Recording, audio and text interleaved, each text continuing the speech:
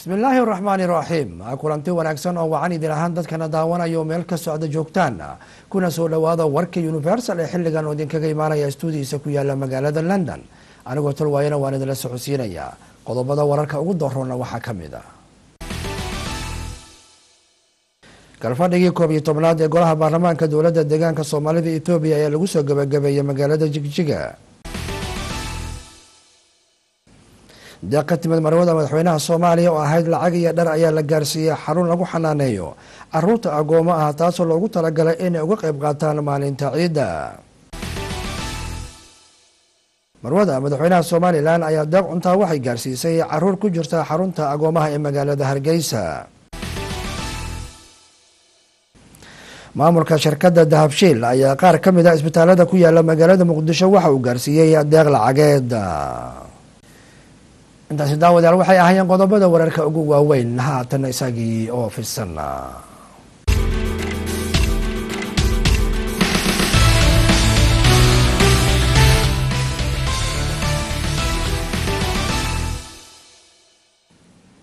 ciid mubaarag kullu caam wa antum bikeyr ummadda soomaaliyeed meel kastoo ay joogtaan waxaan leenaha ciid mubaarag dhammaan bahda shaqaalaha telefishinka universal meel kastoo ay joogaan waxay idin leeyihiin ciid mubaarag ciidan ciideedana eeba haynagu gaarsiiyo bashbash iyo barwaaqo iyo nabadgelyo.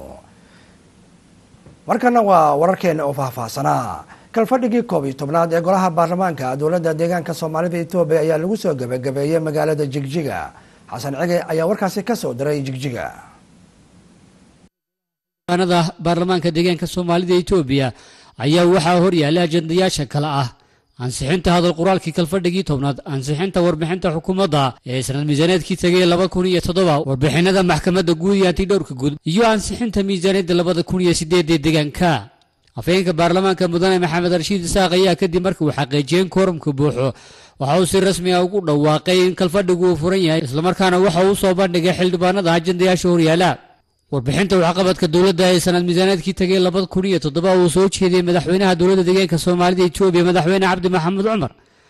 Ayaa waxauu kaga hadlay wixii xukuumaddu ay ka qabatay qorshayaashii labada kun iyo toddobada ee dhinacyada arrimaha bulshada dhaqaalaha iyo siyaasadda iyadoo madaxweyne cabdi maxamed cumar uu xusay in qorshihii shanta sano ay dowladdu ku soo gebagabaysay si guul leh oo dhiirigelin leh. Xildhibaanada baarlamaanka dowladda deegaanka soomaalida etoobiya ayaa si ballaaran u faaqiday miisaaniyadda dowladda ee sanadda labada kun iyo sideedda taasoo ka badan siddeed dhibic shan bilyan oo biro wax looga qaban doono kaabayaasha dhaqaalaha iyo dhimidda saboolnimada. Dood kadib xildhibaanada ayaa miisaaniyadda iyo dhammaanba ajendayaashii ku ansixiyay cod buuxa sidaasna waxaa lagu soo gebagabeeyey kalfadhigii kooiy tobnaad ee baarlamaanka dowladda deegaanka soomaalida etoobiya maamulka shirkadda dahabshiil ayaa qaar ka mid a isbitaalada ku yaalla magaalada muqdisho waxa uu gaarsiiyey deeq raashin oo loogu talagalay. Abokaanka jiifa isbitaaladaasi hani xaaji maxamed ayaa warkaasi nooga soo dartay magaalada muqdisho. Shirkada dahabshiil group ayaa maanta deeq raashiin ah waxa ay gaarsiisay cisbitaalada qaar ee magaalada muqdisho sida kaysani banaadir laasareti iyo cisbitaalka dhimirka ee xabeeb. Waxaana deeqdan ay ka koobneyd bur bariis sonkor iyo saliid. Garaad ibraahim sabriye waxa uu ka tirsan yahay howlwadeenada shirkada dahabshiil group waxaana uu saxaafadda ugu warbixiyey deeqda raashinka ay maanta gaarsiiyeen ku dhowaad afar isbitaal oo ku yaalla magaalada muqdisho. Maanta waxaan halkaan iskugu nimid qayb ka mid a macaawimo ay dahabshiil group ugu tala gashay inay isticmaalaan oo raashintaan beyshinka ku jira cisbitaallada kale ah kaydsanay banaadir hosbitaal isbitaalka dhimirka xabeeb iyo isbitaalka dhimirka ee loo yaqaan laasareti maanta waxaan joognaa hadda isbitaalka laasareti oo ay markii horeba dayac tirtay hay'adda dahabshiil group. Sidoo kale madaxda isbitaalada maanta lagu wareejiyey deeqda raashinka ayaa dhankooda ka mahad celiyey kaalmada ay soo gaarsiiyeen. Shirkadda dahabshiil group. Anigoo ku hadlaya codka agaasimaha isbitaalka kaysanay kan dhammaan shaqaalaha isbitaalka kaysanay kan dhammaan dhaqaatiirta isbitaalka kaysanay waxaan si aada ugu mahad celinaynaa guddoonsiinta iyo taakuleyntan ay sida joogtada ah ay noola daba joogaan shirkadda dahabshiil group. Waan uga mahad celinaynaa waxaan halkan isugu nimid oo ah isbitaalka banaadir in aan ka guddoonno shirkadda dahabshiil deeq yar oo raashin ah oo ay ugu tala gashay bukaanada jiifa isbitaalka banaadir. Runtii arrintaas aad iyo aad aan ugu faraxsannahay. Dahabshiil waa shirkad weyn oo aan sugaynay muddo dheer. Halkan waa isbitaalka xabeeb ee qaybta dhimirka anoo wakiilka ee doctor xabeeb waxaa deeqdan na soo gaarsiiyey dahabshiil oo ka kooban raashin bariis bur iyo sokor iyo saliid. Aad iyo aad ay ugu mahad celinayna dahabshiil kheyrkaas allah waafajiyo. Anigoo ah doctorayse faadmo cabdimacow oo ku hadlaya magaca maamulka isbitaalka waxaan aad iyo aad ugu mahad celinaynaa dahabshiil group oo maanta halkan mucaawino noogu keentay. Mucaawinadaasoo ka kooban bariis iyo bur iyo saliid iyo sonkor aad iyo aaday u mahadsan yihiin iyagoo horay isbitaalkan dhimirka u dayactiray. Xaaji maxamed universal t v marwada madaxweynaha jamhuuriyadda soomaaliya marwe qamar ayaa deeq ah. Dhar ah waxa ay gaarsiisay carruur ku jirta xarun lagu xanaaneeyo carruurta agoonta ah taasoo loogu talagalay inay markaas uga qayb qaataan maalinta ciidda.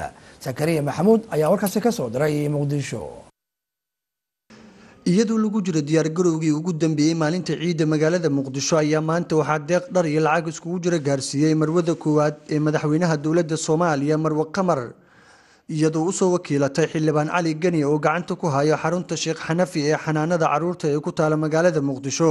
Intaas kadib ayaa warbaahinta waxaa la hadlay xildhibaan geni oo ka tirsan mudanayaasha baarlamaanka soomaaliya waxaana uu ka warbixiyey deeqda maanta ay soo gaarsiiyeen xarunta xanaanada sheekh xanafi oo ay ku jiraan carruur agooman ah. Haddii ay soo dhiibtay marwada koowaad ee madaxweynaha dalka jamhuuriyadda soomaaliya mudane marwo qamar cali cumar waxaan leeyahay mudanayaal soo dhowaada welcome waxaan rabaa inaan xoogay ka taabto ardadaanu waa arday agoon ah. Waxay dhigtaan dugsiga alxanafi sheekh xanafi dugsigaasay dhigtaan. Muddo dheer oo aada u fara badan annaga la tacaalaynay waxaan wax badan aan weydiisanay xildhibaanada kale inay ay nagu garab siiyaan oo ay barnaamijkan waa madaxdii birita ciyaalku waana agoon barnaamijkan maanta waxaan ugu madax dhaxnay waa ujeedaan la ciida carruurta kale oo aabbaha leh la ciida carruurta kale oo aabbaha leh. Marka barnaamijkan waxaan aada u rajeynaya haddii ilaah yihahdo inay xildhibaanada soomaaliyeed oo kale ay nooga ay taakuleeyaan carruurta agoonta oon aabbaha aan lahayn. Bacdama dalkan uu dhibaatooyin badan ka baxay oo agoontu aada ugu fara badan tahay waxaan ummadda soomaaliyeedna ka codsanaynaa inay ay ku daysadaan dadka alle wax siiyey subxaana watacaala maama qamar inay ku darsadaan aan rajeynana insha allahu tacaala sidoo kale waxaa iyagana warbaahinta la hadlay qaar ka mid a xildhibaanada oo goobjoog ahaa goobta lagu siinayay deeqda carruurta agoomanka ah. Waxaa halkan maanta ciid siisay oo ciidan la ciida carruurta kale. Barnaamijkan ah samaysay marwada madaxweynaha jamhuuriyadda federaalk soomaaliya marwe qamar cali cumar. Waxaan leenahay marwo ilaahay khayr ha ku siiyo soomaalina waxaa laga rabaa in sidaasoo kale agoonta looga farxiyo. Waayo ilmaha aabbaha leh markay ciidaan kuwii aan aabbaha lahayna masaakiintaha way eegayaan. Maradu madaxweynaha oo maanta halkudhigga dhabarkayga ka muuqda samaysay oo ah la ciida carruurta kale. Ilmaha intay qalbijab uu ku dhici lahaa kuwa la mid aho asaagoodaho waalidkood jooga markii dhar qurxan loo soo gado firimbi halkaa ay yeeshaan taa ka qurxan ou qalbijab ku dhici lahaa intii oo dhanba yacni u diyaarisay.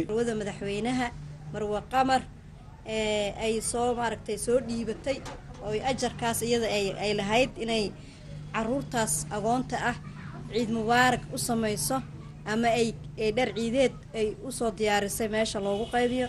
Meeshaas annagana waxaan ajar ka raadsanayna inaan ilmihii ka farxino oo farxaddii la qaybsanno oo aan gacanta ka siino. Marka ilaahay idankiisa waxaan rajaynaynaa in ajar ilaahay naga wada siiyo. Ugu dambeyn qaar ka mid a carruurta ayaa iyaguna dhankooda waxay warbaahinta kala hadleen dareenkooda.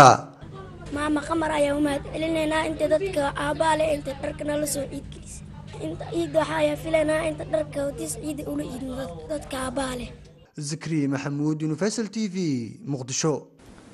Sidoo kale marwada madaxweynaha somalilan marwe aamina ayaa iyaduna deeq cuntaa waxay gaarsiisay carruur ku jirta xarunta agoomaha ee magaalada hargeysa cabdirashiid cabdiwahaab xuseen ayaa warkaasi nooga soo diray hargeysa.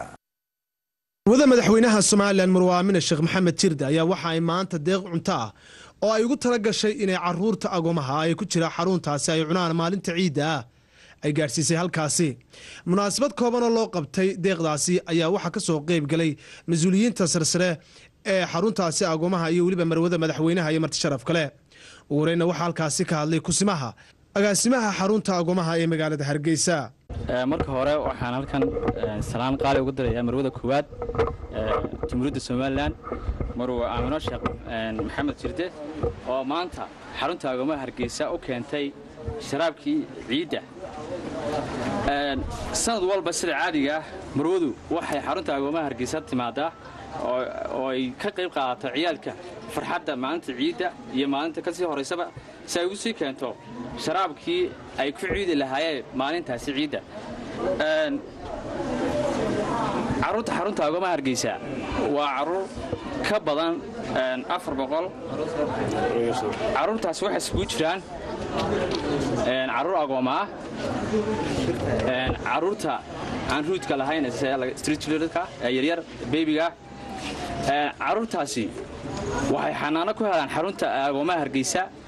Taas way ka mas'uul tahay dowladda jamhuuriyadda somalilan ee uu madaxweynaha jamhuuriyaddu madaxweynaha somalilan madaxda ka yahay.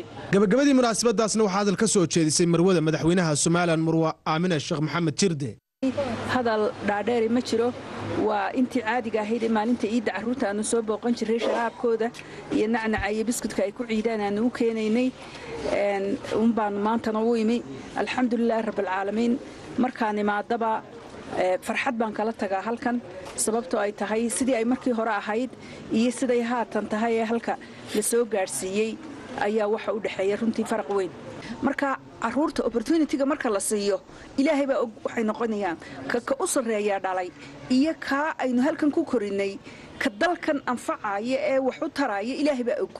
Marka waa inaynu fursad siino carruurta wixii aan iyagu fursaddii maxay ahaytay waalidkuu hayeen ilaahay ka qaaday. Le ilaahay kala jecla midna wuu ka qaaday midna wuu daayey. Mid wuu u shaqo tegay oo raashinka u soo midna wuu ka dilay. Kuwuu ka dilay inteenna kalaa mas'uulka ah. Waa inaynu xilis ka wada saaro waa inaynu maxay ahaytay hadday tarbiyadooda tahay hadday dhaqaalahooda tahay hadday wuxutarkooda tahay qof waliba u qaato inay mas'uuliyadi ka saarantay. Sidoo kale marwada madaxweynaha ayaa waxa ay carruurta agoomaha ah ee ku jira xaruntaasi lagu xanaaneeyo waxay mid mid u gacan qaaday islamarkaana ay u kuurgashay xaaladda nololeed ee ay ku sugan yihiin. Cabdirashiid cabdiwahaab xuseen universal t v hargeysa tartan qur'aanka kariimka ah oo tobankii dambe ee bishan barakaysan ee ramadaan ka socda magaalada beled xaawo ayaa lagu soo gabagabeeyey magaaladaasi. Baashi deeq ayaa warkaasi ka soo diray beled xaawo. Xuseen cabdi gaarane oo ka socda madrasatu alhuda. Xuseen cabdi gaarane oo ka socda madrasatu alhuda tartan qur'aanka kariimka ah oo tobanka dambe ee bisha barakeysan ramadaan lagu qabtay beled xaawo oo ay qabteen ururka adeega bulshada gedo oona qayb ka qaatay tv-ga caalamiga universal ayaa maanta la soo gebagabeeyey xaflad lagu guddoonsiinayay abaalmarino dhalintii kaalimaha hore ka gashay tartanka qur'aanka kariimka ayaa ka dhacday maanta degmada beled xaawo ee gobolka gedo waxaana munaasabada ka soo qaybgalay qeybaha kala duwan ee bulshada oo ay ugu horeeyaan culimo udiinka waalidiin macalimiin iyo qeybaha kale ee bulshada shiine xasan cali iyo maxamed cali siigaale oo ka mid ah ururka adeega bulshada gedo iyo qeybo kale oo ka mid ah bulshada oo ka hadlay madasha ayaa sheegay inay tahay arrin farxad ah in qur'aanka kariimka ah la isku abaalmariyo. Waxay tahay allah subxaana qaadira kalaamkiisa weeye inaan ku weyneyno bisha ramadaan waayo waqtiga uu soo degay weeye qur'aanka ajarka uu leeyahay ajarka uu leeyahayna waad garan kartaan bulshadanada inay ku baraarugto waxbarashadu qiimaha ay leedahay. Dugsiyada oo kor loo soo qaado macalimiinta oo la dhiirigeliyo oo la garab istaago cunuga oo tartamo oo kaalin intuu galo waalidkiisa uu dib u ogaado qiimaha ay leedahay ayaan oga dan leenahay ilaahay subxaanahu watacaala wuxuu yidhi markuu qur'aanka ka hadlahayay wanunazilu min alqur'aani maa huwa shifaa buu ilaahay leeyahay. Waxaa soo dejinay qur'aan shafii dawo ah. Wanunazilu min alqur'aan maa huwa shifaa waraxmatu lilmu'miniina walaa yaziidu alaalimiina ilaa khasaaran. Qur'aanka waa dawo. Wuxuu u yahay mu'miniinta ayuu u yahay naxariis buu u yahay. Nimanka daalimiinta ama gaalada waxaan khasaarahayn ooma ziyaadinay maxaa yeele mar kastoo ayad ay soo degta way beeninayaan. Aqoontanadana way iska yar tahay oo dee dad aqoon u laman yihiin balse dadaalkanaga iyo culamadii wixii aan la kaashanay waxaa ilaahay mahadi ah inaa caruurtii carruur ka mid ah ay maanta jaazo helayaan oo ku soo baxeen haddaan ka faahfaahiyo macnaha imtixaanka sida u dhacay imtixaanka jawi wanaagsan buu ku dhacay insha allahu tacaala waxaana khayr uga rajeynayaa intii ka soo qayb gashay culimmadii ee ka qayb qaadatay. Salaanka bacdigeed toddobaatan iyo dhowr sanaan jiraa weligay xafladan quruxda badan xaflad lama dhihi kare ee xurmadan quruxda badan oo ilaahay kitaabkiisa lagu koryeelahayo weligay kama qayb gelin. Shan iyo labaatankii sano oon dowlad la'aanta ahayn ku boorinaya inuu noqdo kitaabka qur'aanka wixii xurmahoo la isugu yimaado. Walaalayaal ama ha la boodo ama ha la dhaco qof kasta bini aadana maskaxdaada dib ugu shaqaysii waxaan kitaabka qur'aanka kariimka iyo sharcigiisa aan ahayn oo meel lagu gaaraya ma jirto. Adduunyana lagu gaari maayo aaqarana lagu gaari maayo. Wiilasha yaryarka ah ee hadda qur'aanka mataqaanaa halkan ku tartamay kii hadda dhacay sanadka dambe ayuu baasi doonaa arrintan xafladda oo quruxda badan. Oon welina soo marin reer beled xaa waa is ognaayo waa isnaqaanaaye arrintaas aada baan ugu faraxsanahay waanan ka mahad celinayaa. Dadkii ka soo shaqeeyey iyo ciddii kaalmaysay iyo cid kastoo gacan ku siisayn ilaahay subxaana wa tacaala waxaan oga baryaynaa ajir iyo xasanaad tiro badan ilahay inuu ka siiyaan ilahay u weydiisanaynaa. Baashi deeq tv-ga caalamiga universal beled xaawo deeq lacageed oo ay soo dhiibeen qurba jooga ku nool dibadda ayaa la gaarsiiyey wiil yar oo ku xanuunsanaa magaalada muqdisho taas oo loo soo wakiishay shaqaalaha tv-ga universal ee magaalada muqdisho. Cabdicasiis ibraahim okey ayaa warkaasi nooga soo diray muqdisho deeqdan lacageed ee gaaraysay saddex kun toddoba boqol iyo afartan iyo lix oo doolarka mareykanka taasi oo loo soo wakiishay shaqaalaha tv-ga universal ayaa wariye cabdicasiis ibraahim oke waxa uu guddoonsiiyey qoyska uu ka xanuunsan yahay maxamed yaxye. Deeqdaasi lacageed waxay soo dhiibay dad soomaaliyeed oo ku noolaa wadanka dibaddiisa. Wariye cabdicasiis ibraahim oke oo lacagtaasi guddoonsiiyey faadumo ibraahim maxamed oo ah hooyada dhashay dhallaanka yar ee ku xanuunsanaa magaalada muqdisho ayaa ka warbixiyey. Annagoo ah shaqaalaha telefishinka universal stuudiisa magaalada muqdisho waxayna soo gaartay lacag cadadeeda ay dhan tahay saddexda kun afar toddoba boqol iyo afartan iyo lixda dollar ah. Waxaa soo diray dadka soomaaliyeed ee ku nool wadanka dibaddiisa. Dadka gudaha joogana in yar ayay ku leeyihiin waan kala qaadaynaa. Kun dollar oo ka mid a lacagtaasi waxaa soo diray dhalinyaro soomaaliyeed oo ku nool xaafadda laynton ee bariga london. Waxaana ka soo aruuriyey baaba aweys iyo timajilac waxayna ku soo hagaajiyeen shaqaalaha universal t v stuudiisa magaalada muqdisho. Laba kun afar boqol laba kun toddoba boqol iyo afartan iyo lixna waxaa soo diray dad soomaaliyeed oo ku nool wadanka dibaddiisa iyaga oo ugu tabarucayo wiilkan yar ee xanuunsan ee maxamuud yaxyaa oo sanka iyo afka ay jadeecada ka haleeshay islamarkaana u baahan in gargaar caafimaad oo wadanka dibaddiisa loo fidiyo. Dhammaantiin iyo dhammaantiin waa ku mahadsantihiin sida wanaagsan ee aada ugu qayb qaadateen garab istaagga walaalkeena yarka ah ee maxamuud yaxye oo xanuunsanaya. Qoyskii oo ku dhashay maxamuud yaxye gaar ahaan hooyadiis faadimo ibraahim maxamuud. Faadumo ibraahim maxamed oo dhashay wiilka xanuunsanaa ayaa ugu mahad celisay deeqda la gaarsiiyey.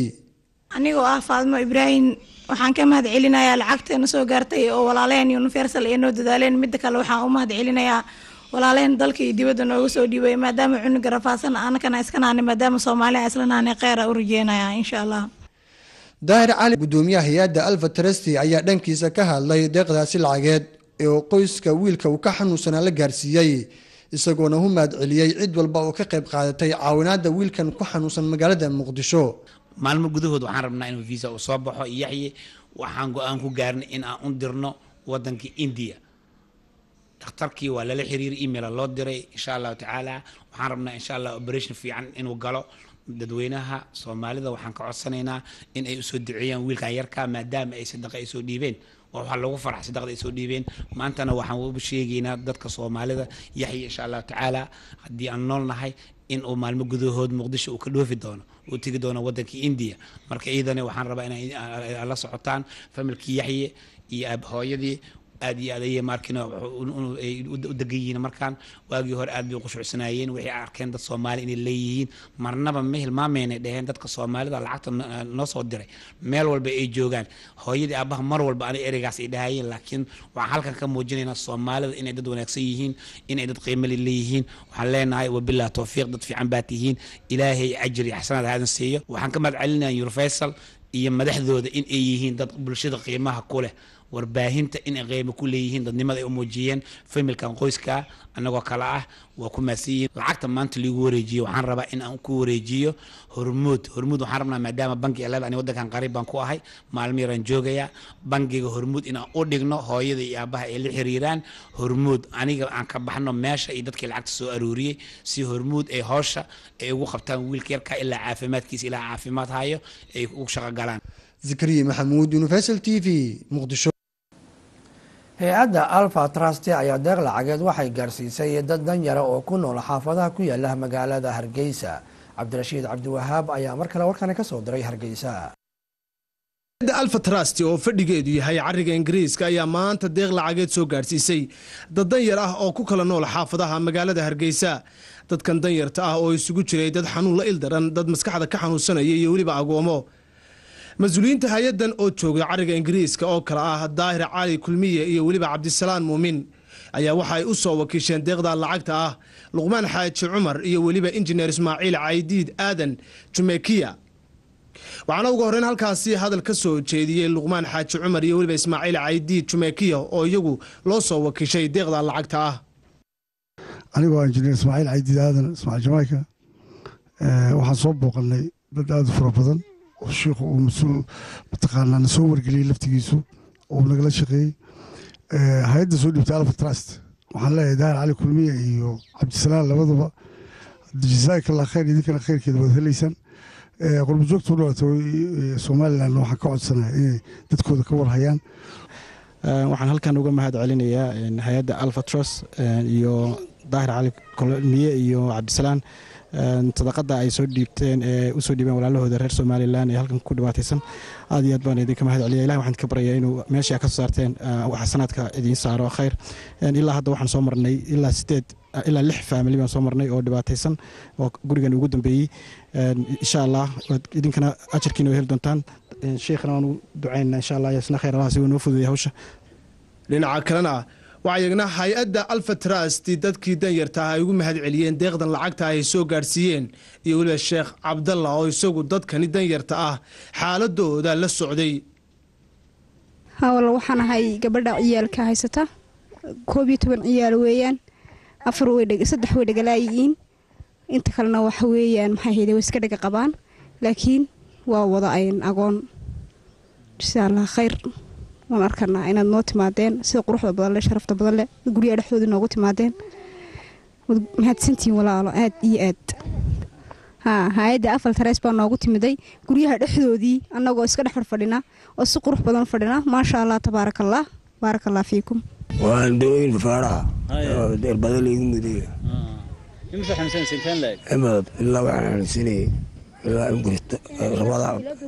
way xanuunsanaysaa imika waxay bugtay ilaa toban sannadood. Weeyaan xanuunkeygu iyadoo yaroo ilaa waxaa la helay maxay ahayde afar bilooda. Markaa saasay dhulka u taallaa. Anoo roga mooyaane isma rogayso. Walaahi dee caafimaadkeyga kalena wuu iska liitaa. Cuntada wax jilicsan mooyaane wax burburan ma qaadan karto dee maxay ahayde saxara iyo kaaditoona iskama hagaajinayso? Dee dad dan yarana waanu nahay. Dad maxay ahayde dhakhtar geyn karona ma nihin. Dalka dhexdiisana waxba looguma qaban karo. Dhakhtar dibadeed mooyaane. Marka waxaanu dhakhtar dibadeed ku geynana ma hayno. Dee waxaanu ka codsanaynaa. Maxay ahayde adduun weynaha waxaanu ka codsanaynaa. Dee ciddii wax nala qaban karta inan taayar ina naloo caawiyo. Dhakhtar dibadeed sidii loo geyn lahaa unduceey ha unduceey hay hay hay waxaan aada ugu mahadnaqayaa walaaladayda soo booqday ee dadkan dayartaa soo booqday ee ugu yimid halkan. Koley duruuftoodana la ceeshay waayo waa ayaamkii ciidda waa ayaamkii u dambeysay ee haddii camalka khayrka ah oo dale labalaabmayey marka koley walaaladay horta aad baan ugu mahadnaqayaa. Ma aha goobtan oo qurata may soo sinin goobo fara badan bay soo mareen. Oo koley xaaladooda aad ka yaabi doontaan oo aragteen xaaladooda siday tahay anigu waxaan ka mas'uulahay jimciyad raxmed khayri ayaan ka mas'uulahay sheekh cabdulla maxamed ibraahim baa la yidhahdaa. Walaaladin waxay igu yimaadeen anigoo inay aan ogahay dad fara badan oo danyar oo dhibaataysan inaan ogahay saasay igu soo doorteen oo igu yimaadeen. Cabdirashiid cabdiwahaab xuseen universal t v hargeysa.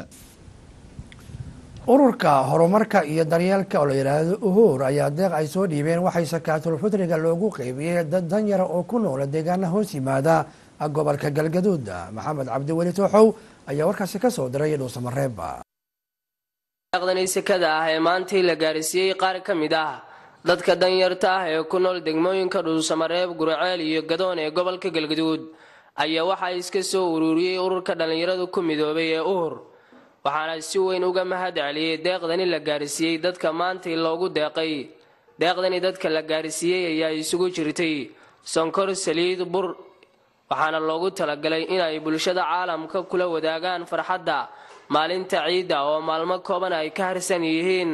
Ugu horeyn waa kuwan qaar ka mid ah dadka deeqda la gaarsiiyey oo uga mahad celinaya dhallinyarada ku midowday ururka uhur. Deeqda ay maantii gaarsiiyeen. Sadaqadii fireenna oo keenay waana soo gaartay waana lagu mahadsan yahay. Kuwii noo keena qaribar waa allah siiyo. Kuwii qaata allah u daaweeyo guurad allah ka dhigo aniga xaawo cali xaylaa la yidhaah reer guricaalna waa nahay. Dadkii sadaqada loo soo dhiibay oo la siiyey aan nahay. Intaasoo boqol qoys oo qofoodaana nala siiyey hadda waa ku mahadsan yihiin waana ku qayri waana ku yihiin. Jaariyadda noo soo dhiibtay dadkana siiyaba dembigooda dembi waarkoodba allaha dhaaf in dad muxsiniin ah ay maanta soo gaarsiiyeen dadkan masaakiinta oo aad u jeedaan ay soo gaarsiiyeen sadaqo fidre ah oo ay ugu tala galeen inay dadka walaalahoodana ugu kaalmeeyaan fidradana isaga bixiyaan oo ayna soo aruuriyeen ururkaas uhur ay soo aruuriyeen. Annagu ka degme ahaan waxaan maanta goobjoog ka nahay oo aan markhaati ka naho hadda aan arkaynaa in ay boqol qoys min haaf raashin bariis ah ay siiyeen. Ayaan goobjoog ka nahay annagu. Waana mahadsan yihiin ragga arrintaas qabtay aad iyo aad aan ugu hambalyaynaynaa waxaan ka mid ahay dadka sadaqada qaatay nala siiyey.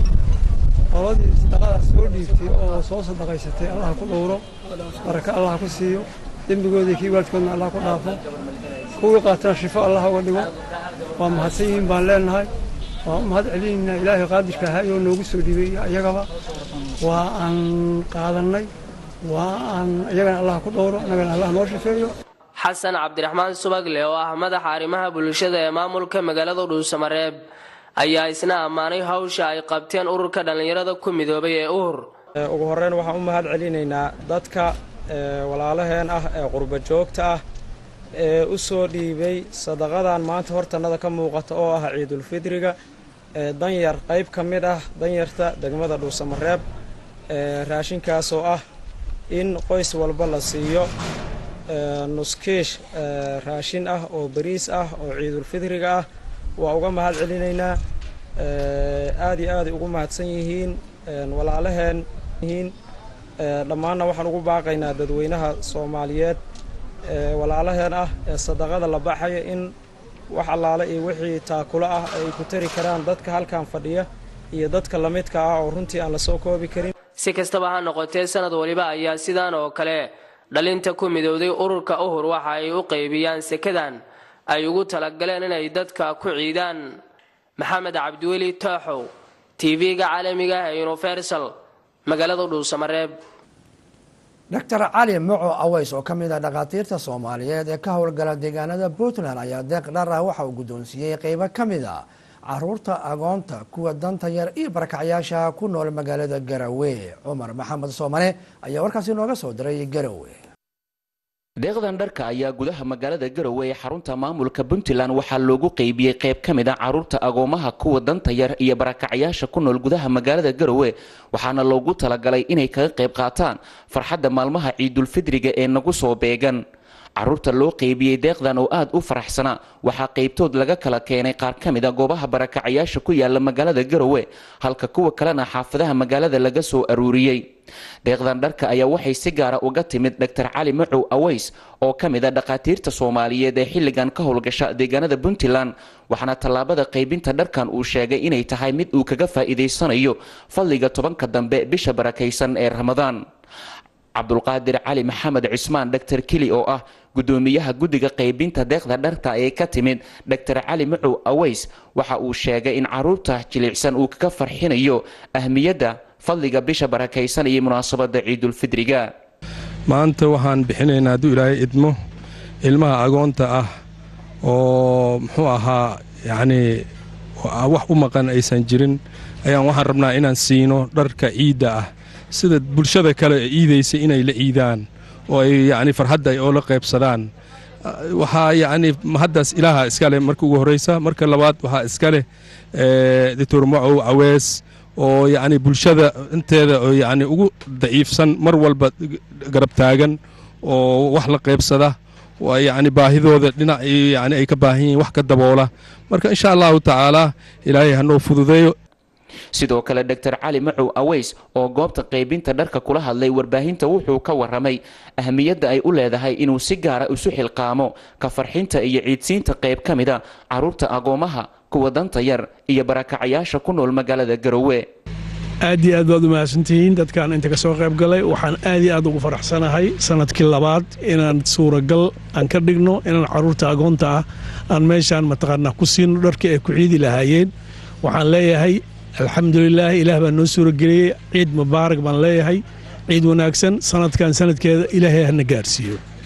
Ha yeeshee waa sannadkii labaad ee sidan oo kale. Dr cali macow aways intii uu ku sugnaa gudaha puntland uu dharka ciidda gudaha magaalada ugu iibiyo. Qayr ka mid carruurta agoomaha kuwa danta yar iyo barakacayaasha ku nool magaalada garowe waxaana tallaabada farxinta iyo iidsiinta caruurtaasi dr. Cali macow aweys uu doonayaa inuu kaga faa'iidaysto ajarka tobanka dambe bisha barakaysan ee ramadaan cumar maxamed soomane universal t v garowe.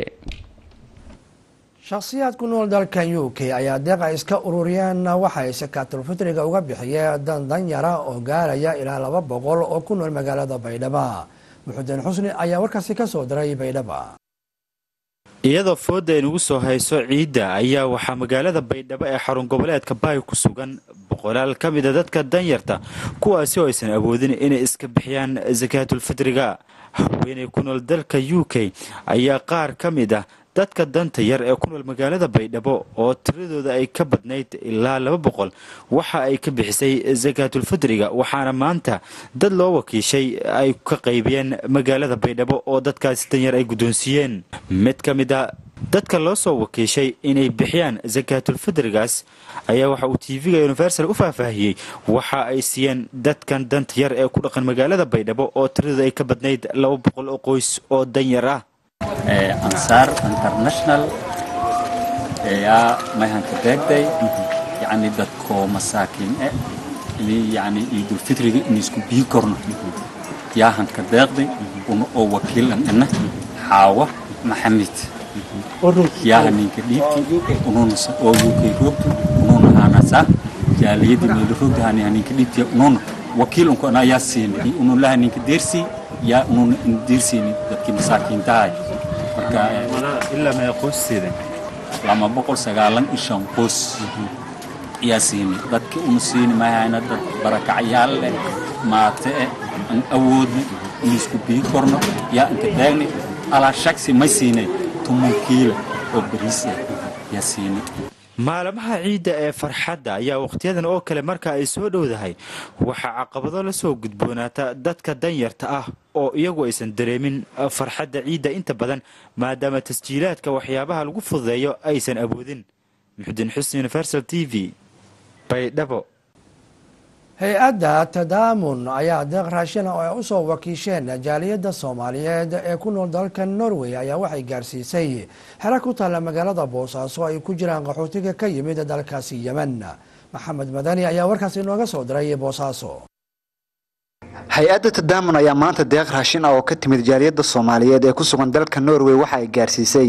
Xerada ay ku jiraan dadka qaxootiga ah ee ka yimid dalka yeman ee ku sugan magaalada boosaaso ibraahim cabdulaahi maxamed oo ah madaxa mashaariicda hay'adda tadaamun ayaa ugu horreyn sharaxaad ka bixiyey deeqdan raashinka ah ay u soo wakiisheen jaaliyadda norway.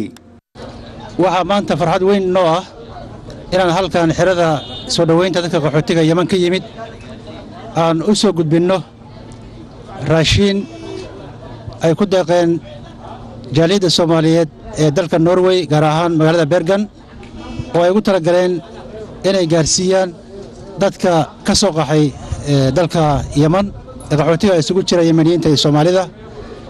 Waxaan halkan ku guddoonsiinaynaa deeqda ay soo bixiyeen walaalaha jaaliyadda soomaaliyeed ee dalka norway gaar ahaan magaalada bergan walaalahaasoo soo bixiyey lacag dhan dollar oo ay ugu talagaleen inay maxay ahayde ku saaciidaan dadka dhibaataysan ee ka soo qaxay dalka yeman ee halka jooga. Lacagtaasoo isugu jirta laba qaybood qayb ay ugu talagaleen zakaatulfitr oo aad hadda arkaysaa raashinka hortiinna yaalla ee ah oo ah bariis laba boqoloo haafoo bariisa iyo konton kartoonoo timira oo loogu talagalay in loo kariyo dadka danyarta halka ku xaraysan ee qaxootiga ah. Lacagaha hareyna waxaan ugu talagaleen dad xanuunsan inaan ku daweyno qaybtood qaybtoodna aan dadka tegaya aadaya gobollada in la siiyo nabadoon caraale oo ka mid ah guddiga gurmadka qaxootiga iyo nabadoon cabdulqaadir xarago oo ka mid ah waxgaradka gobolka ayaa dhankooda madasha ka hadlay. Anigoo ku hadlaaya magaca guddiga taakulaynta dadka yeman ka soo qaxaya waxaan halka ka caddaynaynaa inaan tadaamun ay nagu wareejisay laba boqol oo kiis oo bariisah konton kartoon oo timir ah oo ay soo dhiibeen jaaliyadda norwey gaar ahaan magaalada beergan aad iyo aad baan ugu mahadcelinaynaa jaaliyadda raashinkaa soo dhiibtay. Anigoo ku hadlaya odayaasha dhaqanka khaasatan nabadoonnada in hawsha halkan ka socotaahi ay tahay mid weyn. Annaguna insha allah mar kasta aannu ku dadaalayno sidii ay ugu sii socon lahayd habsami u socodka wanaagsan ee loo gaadhsiiyey mar kasta saddexda bilood ee hadda eenu arrintan ku jirray oo runtii qiimo weyn inoogu fadhida sida aan wax u wadnay. Dhinaca kalena mas'uuliyiinta hay'adda tadaamun ayaa deeq lacageed oo gaaraysa laba boqol oo doolar islamarkaasina ka timid jaaliyadda soomaaliyeed ee norway. Waxay gaarsiiyeen wiil yar oo ku jira cisbitalka boosaaso kaasi oo horay dhaawac uga soo gaaray dagaalada ka socda dalka yeman waxaa sidoo kale ay hay'addu deeq lacaga gaarsiisay ehelada qoys ka koobna afar ruux oo maalmo ka hor ku geeriyooday dab qabsaday hoygii ay deganaayeen oo ku yaallay magaalada boosaaso waxaan ku hambalyaynayaa oo aad ugu mahadcelinayaa deeq yar ay soo bixiyeen walaalaheenna dalka norway jaaliyadda soomaaliyeed ee magaalada berg oo aan soo gaarsiinay wax yar oo ka mid ah laba boqol oo dollar aan soo gaarsiinay qoyskii dhibtu gaartay. Intaasna wax hadda weyn oo ad qabanaysaa ma jirto laakiin waxa weye waa xusid waxaan rajaynaynaa walaalaha kale ee muslimiinta meel kasta ay joogaan boosaaso iyo deegaankeenna guud ahaan puntland iyo gaar ahaan soomaalideenna ee dowladaha joogta inay soo caawiyaan reerkaasi. Maxamed madan universal t v boosaaso wasaaradda qorsheynta qaranka soomaaliya ayaa kulan ku aadan tirakoobkii muranka dhaliyay waxay la yeelatay aqoon-yahano iyo bulshada rayidka ee ku nool magaalada muqdisho. Sakariya maxamuud ayaa warkaasi nooga soo diray magaalada muqdisho kulankii maanta ee wasaaradda qorsheynta ee qaranka soomaaliyeed ee la yeelatay ururada bulshada madaxda caafimaadka ardayda iyo aqoon-yahanada ku nool magaalada muqdisho. Ulajeedka kulanka ayaa ahaa tirakoobkii ay dhowaan sameysay wasaaradda qorsheynta taas oo muran badan dhalisay. Inta badan kulanka ayaa su'aalo lagu weydiiyey madaxda wasaaradda qorsheynta iyo guddiga tirakoobka sameeyey. Waxaa jira tirokoob ay wasaaradda qorsheynta hore u soo bandhigtay oo dalkoo dhan ahaa tirakoobkaas iyo statistics maanta samayseen weyha farqiga u dhexeeya inaad waxyar dadka kala sheegtaan ma kii hore daba socdaa mise waa waa survey gaara oo aad ka sameynaysaan waddanka oo kii duwan waxaan raalli ka nahay inay hawsha sii socoto waxaan kaloo rabnaa in si xaqiiqo ah loo baaro dadka soomaaliyeed waa tiro badan yihiin ilaahay noo yaraynin inaanu is-yaraynana ma ay noo roona inta aanu nahay waxaa lagu ogaan karaa tirkoob saxa inaan sameyno intaas kadib ayaa warbaahinta waxaa la hadlay agaasimaha guud ee waxda tirakoobka wasaaradda qorsheynta xukuumadda soomaaliya. Gobol kasta inuu regional coordinator oo gobolkaas macnaha yaqaano oo ka yimid inuu sameeyo. Waxaa iyadana isid mudan dad ka badan afar kun iyo shan boqol oo soomaali ah. Afar kun iyo shan boqol dad ka badan oo soomaali ah oo dalka dacaladiisoo dhan wada joogo gobol kastana joogo inay ka qayb qaateen arrintan maaragtay soo ururinteeda xogtan waxaa kaloo iyadana muhiim ah in maamulada jiray sida ay ka mid yihiin gobolka banaadir iyo maamul kastoo jiray ha noqoto maamul dawliya sida puntland iyo ha noqdo oo kale ama ha noqdo maamul markaas gobolka ka madax ahaa. Intuba inay mas'uul ka ahaayeen soo ururinta xogta. Zikri maxamuud universal t v muqdisho guddigii madaxweynaha somalilan uu u saaray qabanqaabada aaska ee loo sameynayo allah u naxariistee marxuum fu-aad aadan cadde oo ah la taliyihii madaxweynaha ee arrimaha bariga oo ku geeriyooda dalkaasi turkiga ayaa ka hadlay xilliga uu dhacayo. Mar kale cabdirashiid cabdiwahaab ayaa warkaasi nooga soo diray hargeysa madaxweynaha somalilan mudane axmed maxamed maxamuud siraayo ayaa guddidii aaska qaran ee uu u saaray. Allaha u naxariistee fu'aad aadan cadde oo ahaa la taliyaha madaxweynaha arrimaha bariga oo ku geeriyooday dalkaasi turkiga oo maanta shir jaraa'id ku qabtay xarunta madaxtooyada. Ayaa waxa ay faahfaahiyeen xilliga la keenayo marxuumka iyo weliba halka lagu aasayo ugu horreynna waxaa halkaasi ka hadlay kusimaha maayarka magaalada hargeysa ahna maayar ku-xigeenka cabdicasiis cagaweyne. Inaa lilaahi weynaa ilay raajicuun. Inaa lilaahi weynaa ilay raajicuun. Inaa lilaahi weynaa ilay raajicuun. Waxa aanu maanta halkan ka baahinaynaa iyadoo guddoomiyihii iyo guddidiba ay joogto aaska annagoo ah guddida qaran ee madaxweynaha jamhuuriyadda somalilan magacaabay. Waxa aanu maanta halkan ka tacsiyadaynaynaa geeridii naxdinta lahayd ee ku timi qaranka jamhuuriyadda somalilan geeridaasuu geeriyooday fu'aad aadan cabdi oo ku magac dheeraa fu'aad aadan cadde oo ahaa mujaahid weyn oo qarankan jamhuuriyadda somalilan xilal kala badan ka soo qabtay. Iminkana markii u dambeysay ahaa la taliyaha madaxweynaha ee dhinaca bariga ahaan jiray wasiirka deegaanka xilal badan ka soo hayn jiray. Waxaan leenahay waxaanu ka tacsiyadaynaynaa qaranka jamhuuriyadda somalilan waxaanu ka tacsiyadaynaynaa oo ugu horreeyey madaxweynaha jamhuuriyadda somalilan iyo madaxweyne ku-xigeenku golaha wasiirada golaha guurtida golaha baarlamanka iyo shacbi weynaha iyo dhammaan dowladaha hoose oo anigoo ah kusamihii meeyarka meeyarada aan afkooda ku hadlayo dowladaha hoose oo dhan gebi ahaan dalkaanu ka tacsiyadaynaynaa sidoo kale isna waxaa halkaasi ka hadlay guddoomiyaha guddidaasi loo saaray aaska qaran. Baashe maxamed faarax oo ah guddoomiyaha guddidaasi islamarkaana ah guddoomiye ku-xigeenka koowaad ee golaha wakiilada somalilan. Raajicuun. Waxaa halka jooga guddidii qabanqaabada ee madaxweynaha jamhuuriyadda somalilan u magacaabay aaska qaran ee loo samaynayo marxuumka fu'aad aadan cadde guddidii saasay u dhisay magacyadooda waad wada taqaanay iyo taytaladooda fu'aad wuxuu ahaa nin qaran nin qaran buu ahaa. Marka tacsida aniga ku hadlaya magaca qabanqaabada waxaan tacsi u dirayaa qaranka oo dhan iyo eheladii uu ka geeriyooday fu'aad. Waxaan kaloo idiin sheegaynaa waxa weeye in haddii ilaahay yidhaho marxuumkii la keeni doono sabtida subaxii toddobada subaxnimo sagaalka subaxnimona la geyn doono masaajidka tabliiqa oo lagu tukan doono dabeedna isla maalintaa la aasi doono. Xabaaluhuna waa xabaalaha naasa hablood haddii ilaahay yidhaaho. Marka wixii dambe waxaanu ka soo sheegi doonaa gadaal baanu ka soo sheegi doonaa guddidan loo saaray aaska qaran ayaa waxay ka kooban yihiin xubno ka tirsan golaha wasiirada somalilan guddoomiyaha ku-xigeenka golaha wakiilada iyo weliba maayarka ku-xigeenka magaalada hargeysa. Cabdirashiid cabdiwahaab xuseen universal t v hargeysa. Magaalada gaalkacyo ee xarunta gobolka mudug ayaa waxaa markii ugu horreysay laga hirgeliyey hotel casriya ah oo dhammaan leh adeegyada kala duwan. Saciid cabdulaahi ayaa warkaasi nooga soo diray gaalkacyo ganacsatada iyo qurbojoogta deegaanka ayaa ku baratamiyay sidii magaalada ay ugu hirgelin lahaayeen daaro iyo ganacsi cajabiya dadka ku nool magaalada gaalkacyo magaalada ayaa waxaa horey looga hirgeliyay dhismayaal daaro u badnaa iyo weliba suuqyo laga dhisay xaafadaha magaalada maadaama ay aada u sii ballaaranayso haddaba shalay ayaa magaalada waxaa laga daahfuray daar loo dhisay qaab casri ah oo laga helayo adeegyo cusub oo aan horey magaalada gaalkacyo loo keenin aljazeera business group ayaa shalayto xarigga waxaa ka jiray gudoomiye ku-xigeenka gobolka mudug axmed muuse nuur iyo gudoomiyaha degmada gaalkacyo cabdicasiis jaamac nugaal aad iyo aad baan ugu faraxsanahay inaan mataqaanaa arrinta tan munaasabadan aan ka qayb galo. Furitaanka hotel aljazeera waxa weeyaan runtii waa arrin aad iyo aad loogu farxo. Raggii igu horreeyey sidoodii baan waxaan leeyahay hambalyo. Axmed iyo muxuu ahayto aljazeera group dhammaantiin waxa weeyaan aad iyo aad ba u mahadsantihiin sida mataqaanaa aad u shaqayseen. Waxaan rabaa inaynu tala siino haddii la arko inuu wax iska bedeleen in la yidhahdo halkaasaa wax iska bedeleen hada waa wax ina ka dhexeeyo aanu leenahay dhammaanteen. Wixii ka xumaadaa wayna ka xumaanayaan wuxuu soo kordhiyey bilic dhaqaalo.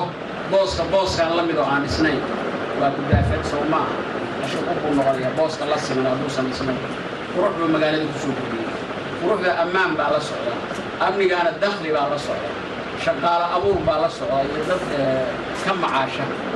Allah inoo barakeeyaan leh. Waa inoo dhisay. Aljazeera group ayaa ka kooban hotel suuq makhaayad cunno shirkad biyaha sifaysa mashiino dharka dhaqa timajare saddex hool oo si wanaagsan loo qurxiyey kaamirooyin dhaqdhaqaaqa la soconaya iyo gaadiid u adeegaya macaamiisha. Bilowgeedii ilaa hadda uu soo socday marxalad badan buu soo maray. Galabta waxaynu u joognaa inaynu furno maskax badan iyo dadaal badan iyo caqli badan baan gelinay marka koowaad. Waxaanaan ugu dadaalaynay intaas. Naftayadana waa dee waan u dadaalaynay magaaladana waa ugu hiilinaynay xaqada markii laga hadlo oo hiil magaalo waxaa ah magaaladii inaad wax fiican laga sameeyo reer puntland iyo dadka gaalkacyo lacagta haysta.